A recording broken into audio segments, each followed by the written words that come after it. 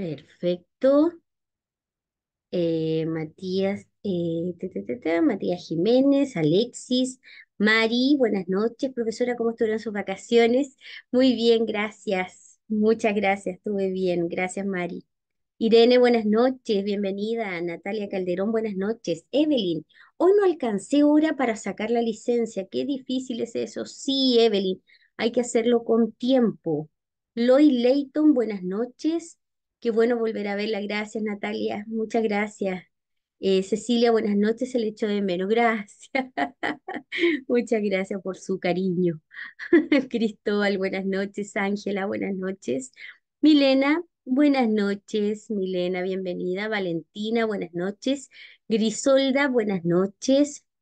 Qué gusto verla nuevamente. Muchas gracias, Milena. HP, creo que es Karina. Buenas noches, profe. Todavía pegada en práctica test. No he podido dar el examen ya en agosto, sí o sí. Perfecto. En agosto, sí o sí. Natalia, buenas noches. José Elías, buenas noches, profe. Gusto volver a verle. Gracias. eh, Muchas gracias, José. Evelyn, estuve conectada desde antes, pero se acabaron cinco en cinco minutos las horas. Wow, sí, totalmente. iPhone, buenas noches, activo Alant. Hola, Alant, buenas noches. Eh, Amaro, buenas noches. Mila Calderón, ¿alguien sabe cuánto demora la cita para presentar la prueba teórica? ¿Cuánto demora? ¿A qué te refieres, Mila? ¿Cuánto demora el plazo? ¿Cuánto demora el tiempo? No sé a qué, a qué tiempo te refieres. Ya, buenas noches, Francisca Becerra, buenas noches. Sí, hoy día estoy con un problema con un poco con la cámara, porque se me quedó la cámara en la escuela, así que estoy con la cámara del computador que no se ve muy bien, se me quedaron los lentes, así que estamos haciendo un tremendo esfuerzo. Buenas noches, eh, Francisca, buenas noches, Ingrid. El miércoles nos toca dar la prueba con mi hermana, estamos ansiosas. Perfecto, vamos a seguir estudiando. Harto test, harto test municipal. Buenas noches, Lorena. Bienvenidos todos. José Elías, profe, reprobé mi primer examen teórico, pero voy con más ganas y fe a dar mi segunda oportunidad. Créeme que te va a ir bien, José. Hay que ir con una buena actitud. Ya, primero que todo, siempre una buena actitud y claramente poder estudiar mucho más de lo que ya había estudiado.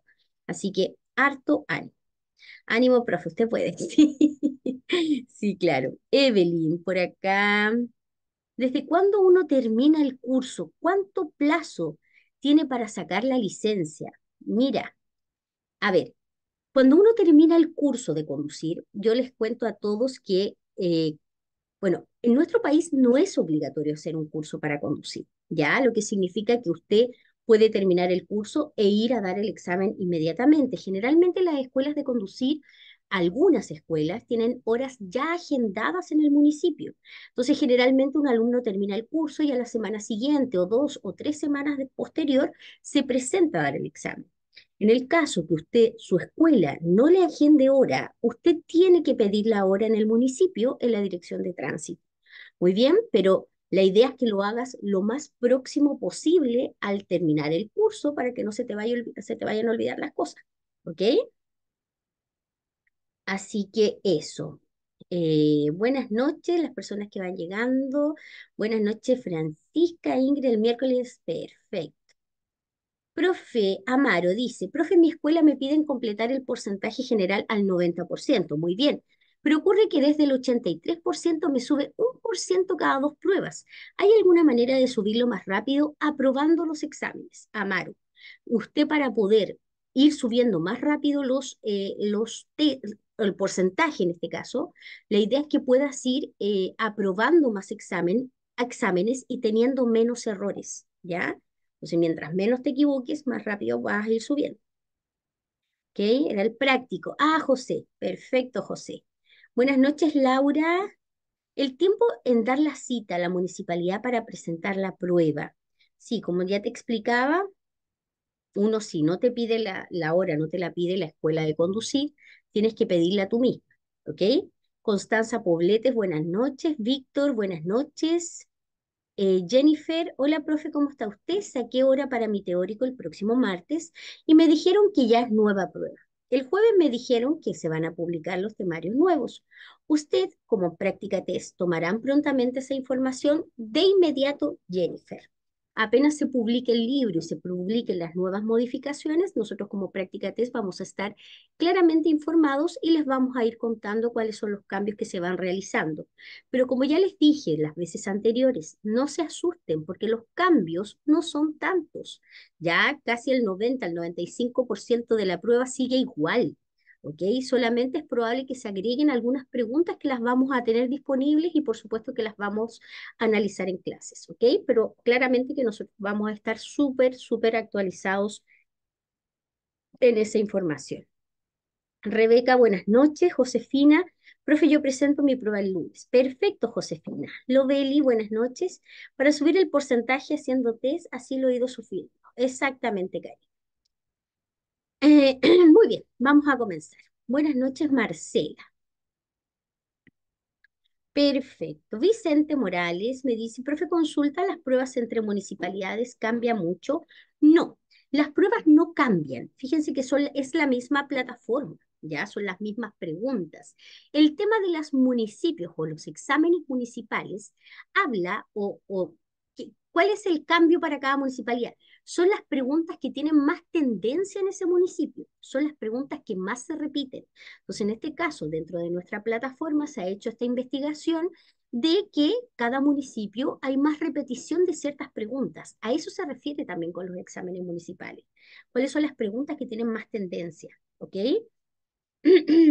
Natalia, profe, yo hace años hice un curso, pero no pude dar la prueba por pandemia, pero ahora ya estoy, estoy en este por más test que hago me salen mal y tengo hora para el 5. Hay que estudiar, Natalia. Tú puedes, Natalia. Trata de ir viendo las explicaciones cuando te equivocas para que las explica. Recuerda que las explicaciones de las preguntas vienen directamente del libro del conductor, por lo tanto, trata de ir viendo aquello. Jacqueline Venegas, pero usted sabe si en la comuna de Peñalolén se dan dos exámenes el día teórico y práctico. A ver, también, buena pregunta, Jacqueline, porque aquí lo aprovechamos de aclarar para todos. Todos los municipios actúan de forma distinta, no actúan de forma igual. Hay municipios que hacen las tres pruebas en tres días distintos. Hay otros municipios que te toman las tres pruebas el mismo día. Hay otros municipios que te toman el teórico y psicotécnico y te dejan el práctico para otro día. No todos los municipios funcionan igual todo depende de la cantidad de personas que estén ahí para dar el examen. Depende de, depende de cuánta recurrencia de personas haya. Hay municipios y comunas que claramente son mucho más grandes, que efectivamente tienen mucha afluencia de público y claramente ellos se demoran más en este proceso pero hay otros municipios que son más pequeños, que son comunas más pequeñas, que a veces alcanzan a tomar las tres pruebas del mismo día. También nos ha pasado a nosotros en nuestra comuna que a veces se enferma algún, algún funcionario municipal y dejan algunas pruebas para otro día. Ya son situaciones que pueden pasar, pero tenemos que estar súper conscientes que el día que vayan a dar el examen tienen que ir preparados para que les tomen las tres pruebas o para que les puedan tomar las pruebas distribuidas en diferentes días. Pero eso depende de cada municipio. ¿Ok? Usuario de Zoom, profe, si uno da el examen teórico, ¿tiene que dar la prueba práctica casi las mismas fechas o igual se le puede posponer hasta estar mejor preparada para la práctica?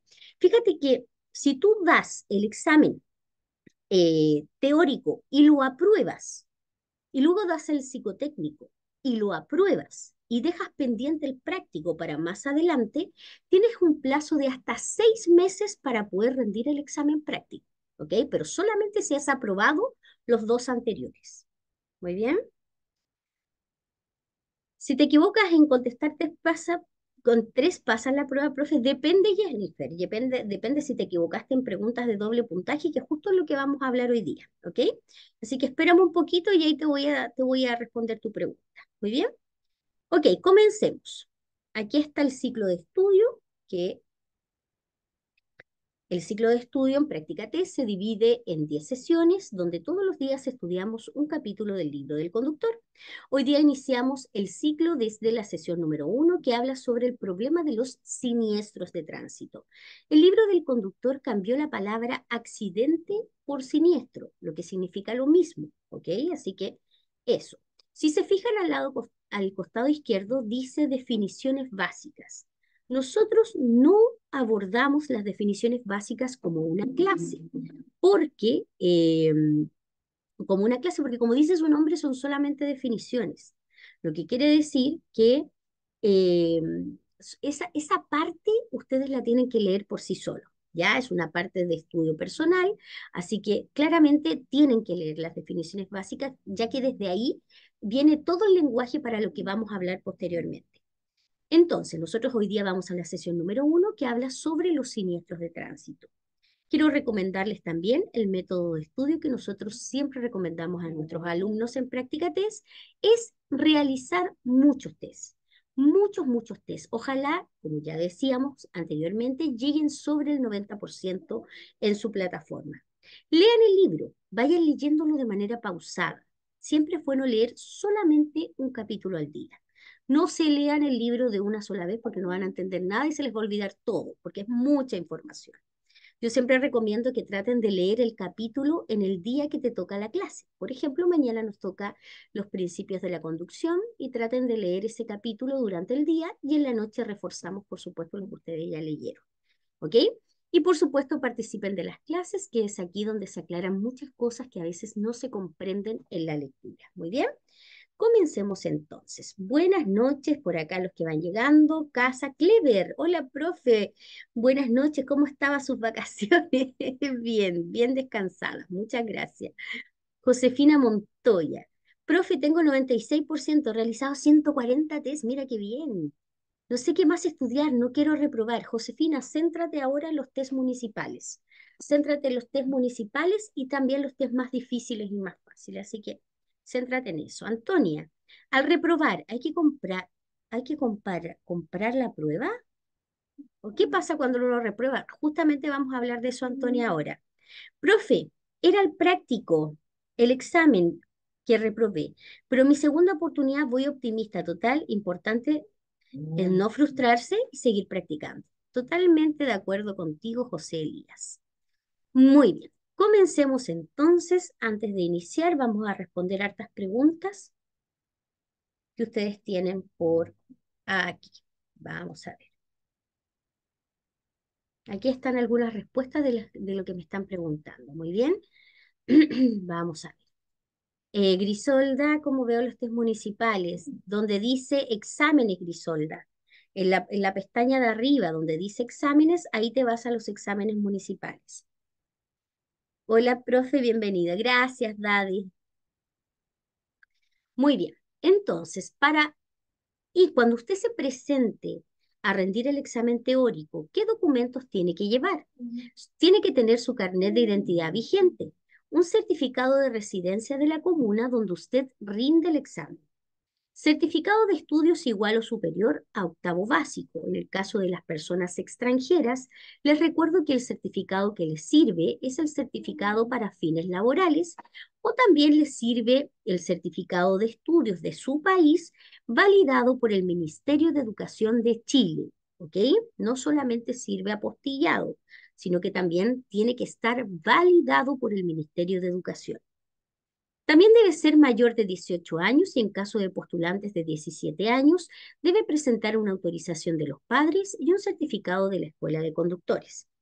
¿Cómo es el examen teórico? Fíjese que el examen teórico se compone de 35 preguntas que el sistema elige al azar. Aquí dice 800, pero recuerden que son más de 1000 preguntas que hay en la plataforma.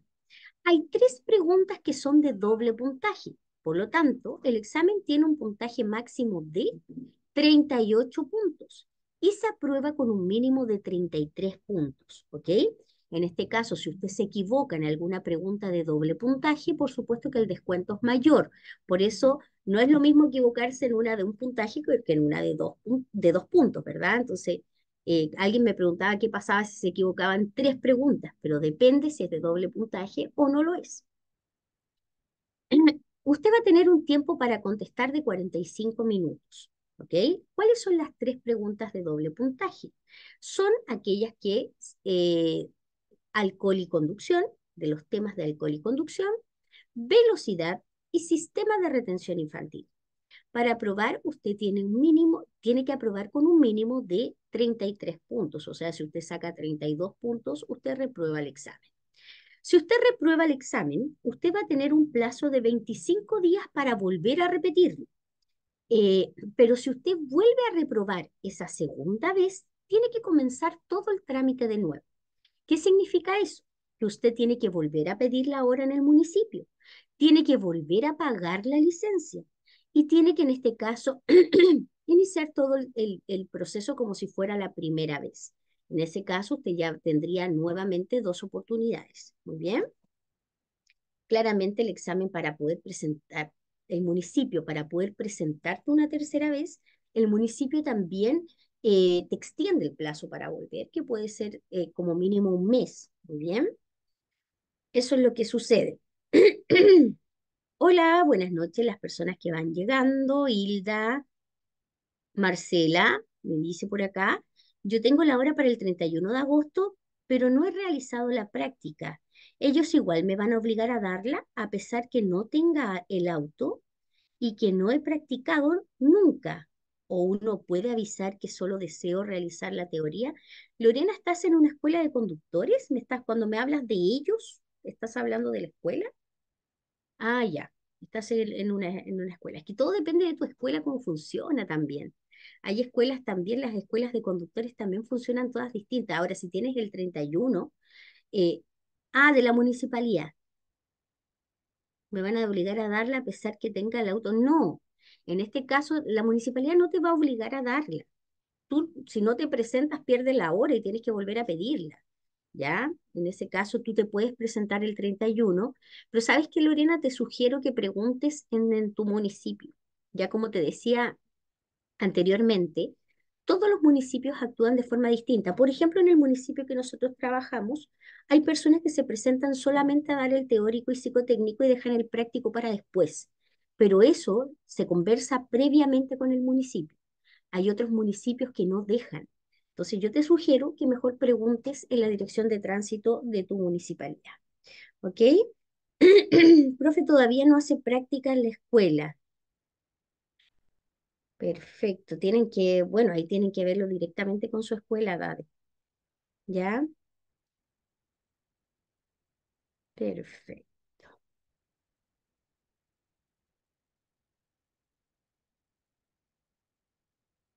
Muy bien.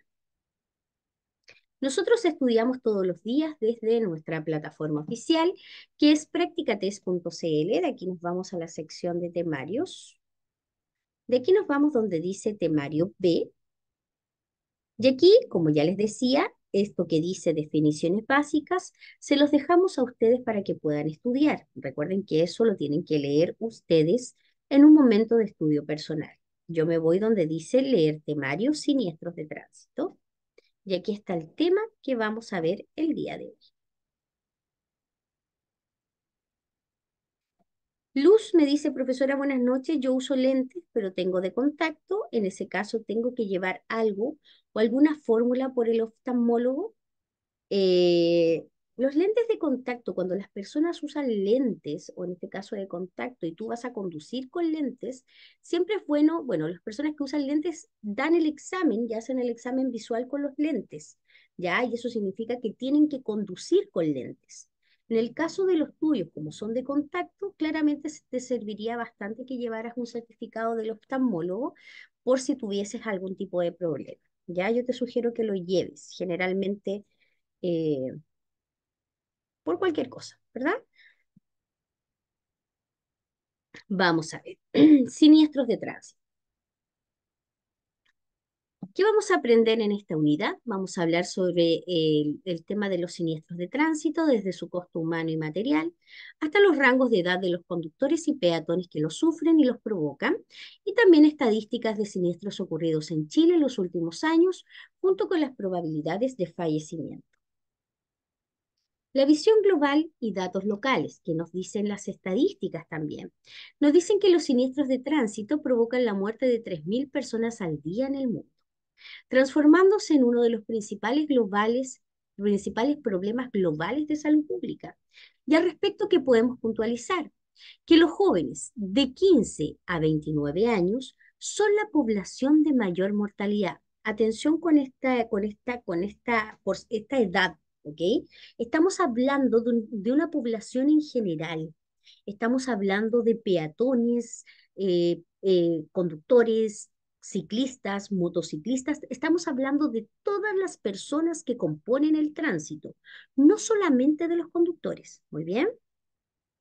Al menos 100 personas cercanas a un fallecido en un siniestro de tránsito sufren su pérdida según estudios recientes. El impacto económico alcanza el 2% del PIB según la OMS.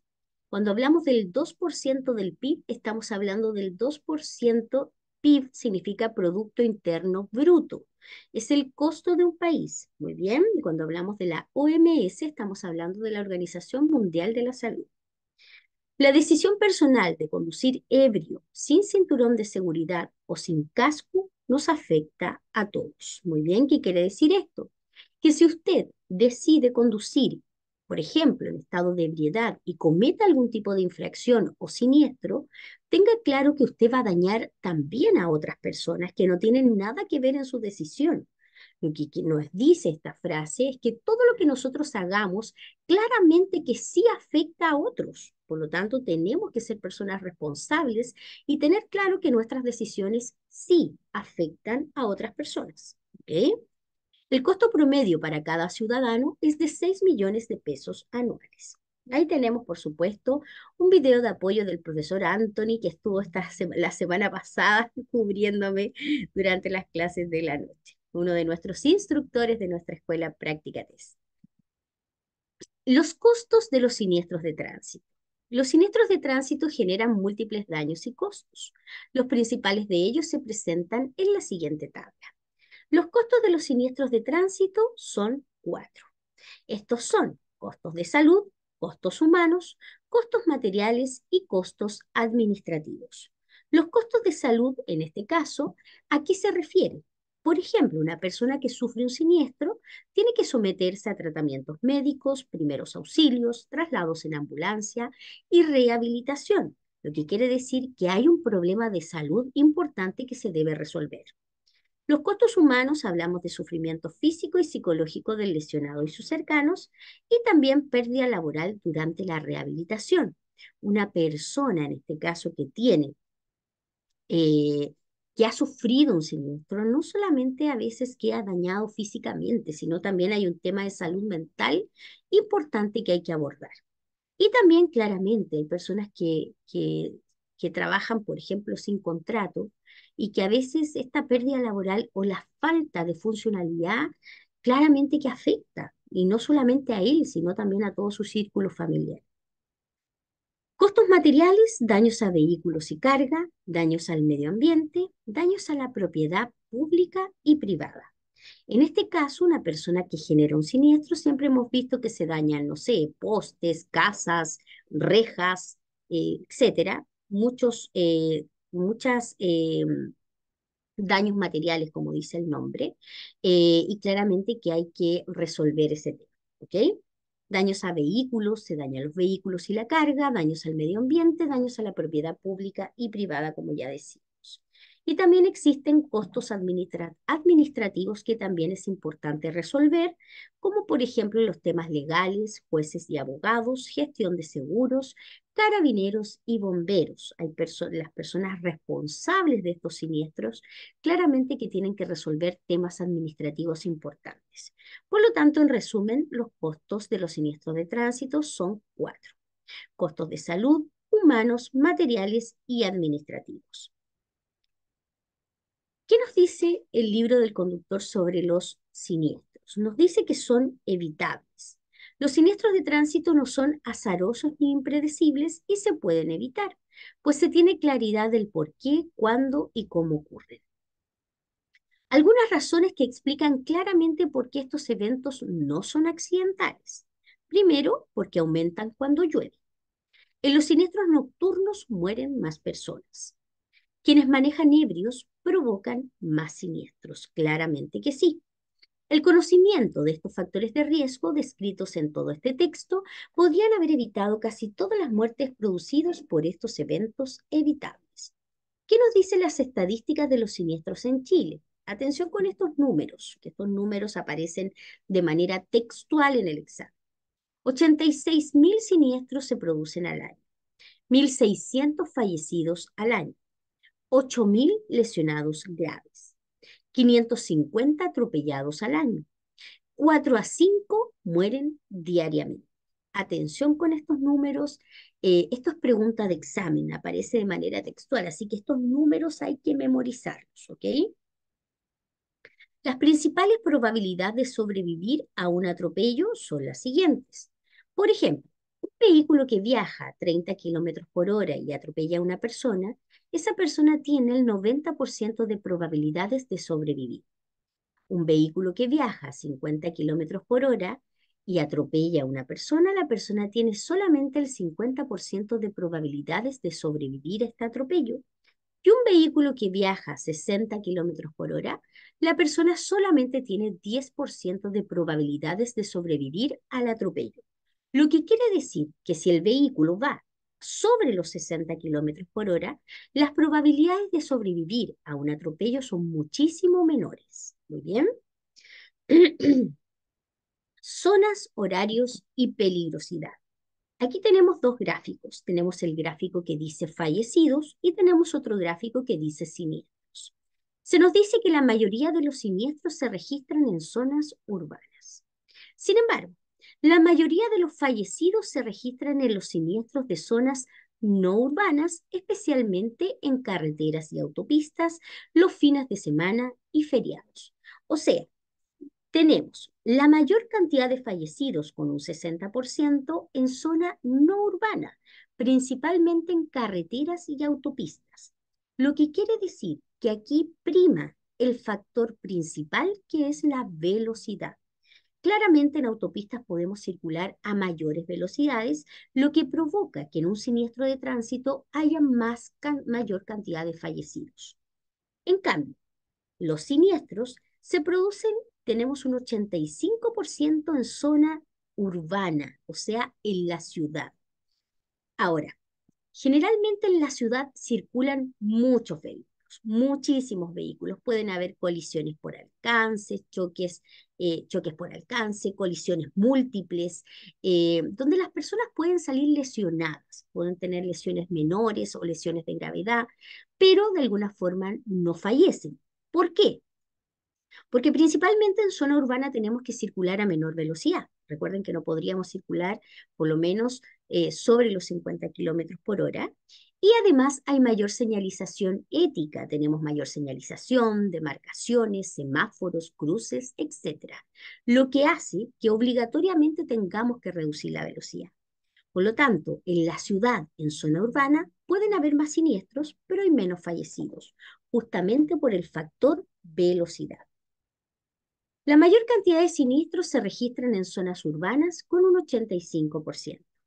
La mayor cantidad de fallecidos se registran en zonas no urbanas con un 60%.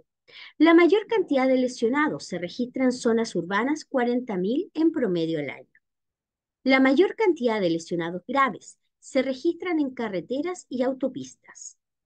La mayor cantidad de siniestros se registran en cruces e intersecciones la mayor, atención con pregunta de examen, me, me devuelvo, la mayor cantidad de siniestros se registran en cruces e intersecciones, pregunta de examen. La mayor cantidad de siniestros se registra en los feriados largos y fines de semana normales. La mayor cantidad de siniestros se registran durante la noche y la madrugada en horarios de menor flujo vehicular. Edad y recurrencia de la siniestrabilidad. Fíjese acá, que los jóvenes entre 18 y 29 años son el grupo de mayor siniestrabilidad y fallecimiento en siniestros de tránsito que corresponden al 27% de los conductores. En este caso, el rango de edad, vamos a ver, entre 0 a 17 el porcentaje de conductores fallecidos o que más siniestros provocan es del 2%. Los, acá tenemos el rango de edad entre 18 a 29 años un 27% de conductores fallecidos, que es el porcentaje más alto. O sea, las personas entre 18 y 29 años, o los conductores de esas edades, de esas edades claramente, son los que más siniestros provocan y también los que más fallecen. Aclaro con lo que dijimos al principio. Me devuelvo para que quede súper claro. Al inicio de la lectura dijimos que los jóvenes de 15 a 29 años son la población de mayor mortalidad, pero en esa, esa edad de 15 a 29 años estamos hablando de una población global. Estamos hablando de todos, de los peatones, los conductores, los copilotos, los ciclistas, los motocicletas. Estamos hablando de todas las personas que componen el tránsito. En cambio, en, el, en la estadística que estamos viendo acá abajo, aquí estamos hablando solamente de los conductores, solo de los conductores, ¿ok? Entonces los conductores entre 18 y 29 años son los conductores que más siniestros provocan y también los que más fallecen. Muy bien, que quede muy claro. Luego dice, de 30 a 39 años, un 20%, 40 a 49 años, un 18%, 50 a 59 años, un 16%, 60 años y más, un 16%, nos informa un 1%. O sea, a mayor edad, claramente que hay menos, eh, porcentaje de conductores fallecidos. Ahora, ojo, que el factor principal que explica el libro del conductor para esta edad, ya que dice que los conductores de 18 a 29 años son los que más eh, accidentes provocan y que más fallecen, pero ahí prima el factor de la madurez. Incluso más adelante, el libro del conductor habla sobre la madurez, habla sobre la madurez del conductor. Y hay personas que tienen 18 años que pueden sacar su primera licencia, por ejemplo, pero que no cumplen con el factor de la madurez y que principalmente, y cuando hablamos de madurez también hablamos de responsabilidad. ¿Ya? Así que claramente esa es una de las explicaciones de aquí. Acá tenemos, por supuesto, un video de apoyo y tenemos aquí. Para finalizar esta unidad, es muy importante que usted tome en cuenta los siguientes datos. El 92% de los conductores fallecidos son varones. El 90% de los siniestros de tránsito son por falla humana. Y los principales factores son la desobediencia de las señales del tránsito y el consumo de alcohol. Muy bien, acá tenemos por supuesto la normativa legal. En todos los capítulos abajo ustedes van a encontrar la normativa legal. No es necesario leerla, pero sí es importante que usted sepa que toda la información del libro del conductor, por supuesto que se sustenta bajo estas leyes. Muy bien, acá tenemos, por supuesto, un video de apoyo del profesor Jaime que habla sobre este mismo tema si es que usted lo quiere reforzar. Y finalmente, el test de la unidad. Vamos a hacer algunas preguntas ahora de este capítulo, que es un capítulo relativamente fácil, un capítulo que es bastante breve, pero que también es muy importante, ¿verdad? Entonces, dice así, la primera pregunta usted me contesta en el chat. ¿Qué clase de costos genera un accidente de tránsito? A. Daños materiales y costos de salud únicamente. B. Daños materiales fundamentalmente. C. Daños materiales, costos de salud administrativos y costos humanos.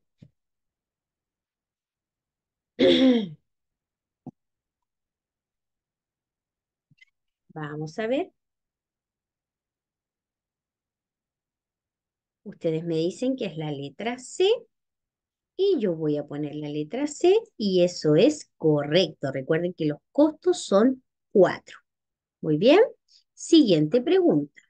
Teniendo en cuenta las estadísticas, en este caso, de los accidentes de tránsito en Chile, ¿qué afirmación es correcta? La mayor parte de los fallecidos por accidentes de tránsito se producen en vías interurbanas o no urbanas. B. El grupo etario de mayor accidentabilidad son los jóvenes entre 18 y 20 años. C. Los periodos de mayor accidentabilidad coinciden con los días lunes.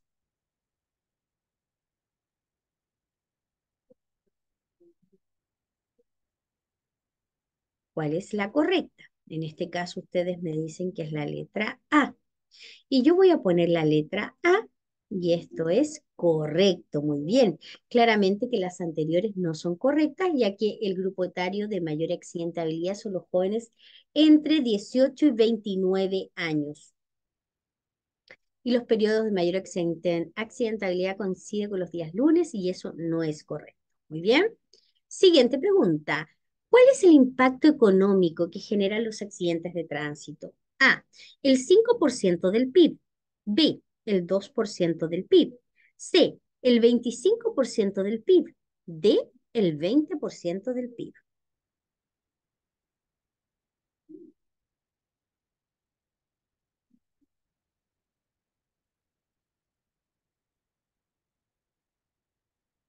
Muy bien, la mayoría de ustedes del PIB, claramente Karina, sí. Entonces, el 2% del PIB y eso es correcto, muy bien. Siguiente pregunta. Sobre la falla humana en accidentes podemos decir A. Todos son por falla humana. B. No hay registro sobre el tema. C. Que representa cerca del 90% de los casos. D. Solo es el 40% de los casos.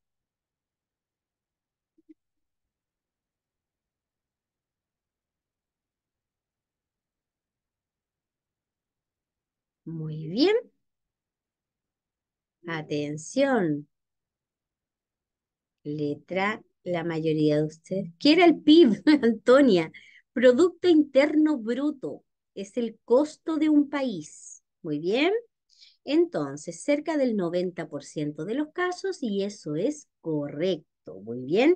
Recuerden que el 90% de los siniestros se producen por culpa de las personas por falla humana.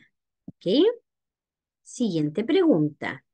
Ah, mira, me salió la misma pregunta.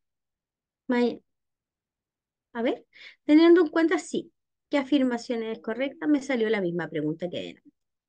Muy bien. Perfecto. Hemos llegado ya al final de este capítulo, quiero contarles que mañana, ¿qué nos toca para que las personas que puedan lo puedan preparar? Mañana vamos a estudiar los principios de la conducción.